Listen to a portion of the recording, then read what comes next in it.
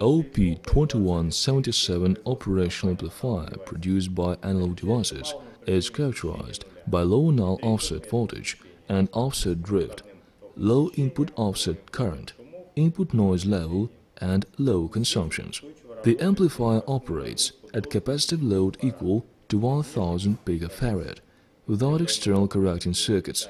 Current consumption of one amplifier does not exceed 500 mA at supply voltage equal to 30 volt.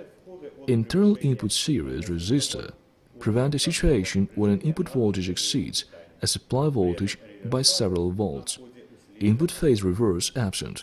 OPH 177 series amplifiers have a wide operating temperature range of minus 40 to plus 125 degrees Celsius. There is no any enclosed surface-mounted amplifier which can operate in the temperature range. The amplifier has the following main features. Bandwidth is 1.3 MHz. Rate of rise OS 700 mV MKS. Maximum null offset voltage is 60 microvolt.